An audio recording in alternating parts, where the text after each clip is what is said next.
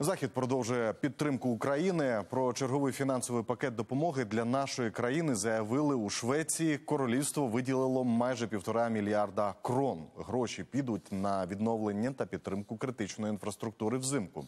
Про збільшення допомоги вже збройної заявила Німеччина. У разі потреби країна готова збільшити поставки арсеналу. Про це на на партійному з'їзді в Берліні заявив канцлер Олаф Шольц. Що означає ця заява? Тетяна Логунова розкаже. Попри падіння рейтингів та бюджетні проблеми, канцлер Німеччини Олаф Шольц не втрачає бойовий дух і намагається переконати громадян. Усі негаразди тимчасові уряд впорається.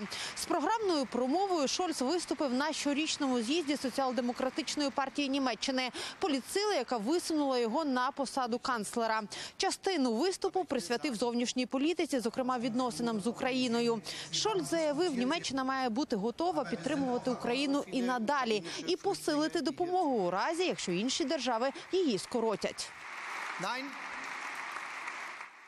Ні, ця війна ймовірно не закінчиться так швидко, як ми всі сподівалися. Ось чому ми повинні бути в змозі продовжувати робити те, що ми робимо сьогодні, цього року, наступного і далі. І в разі потреби, якщо інші ослабнуть, нам можливо потрібно буде збільшити свій внесок. Внесок це фінансова і військова допомога. Її канцлер пообіцяв надавати Україні і в майбутньому, щоб чітко продемонструвати Росії. Ніхто не має права міняти кордони за допомогою сили. Ми продовжимо підтримувати Україну в її оборонній боротьбі за допомогою фінансових засобів і поставок зброї. І звісно, це великий фінансовий виклик також і для нас. Ще один виклик прийом та інтеграція українських біженців. В Німеччині знайшли прихисток більше мільйона українців, що тікали від війни. Переважно жінки, діти, літні люди. Усі отримали тимчасовий захист, доступ до соціальної системи, право на роботу і соціальну допомогу у разі неможливості працевлаштуватися.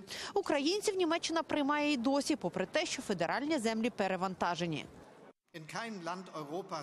У жодній іншій країні Європи немає стільки українських біженців, як тут, у Німеччині. І я пишаюся тим, що ми це зробили. Я вдячний громадянам, комунам та німецьким землям за внесок, завдяки якому ми змогли впоратися з таким викликом. Однопартійців Шольц переконав. Вони аплодували промові канцлера стоячи хвилин п'ять.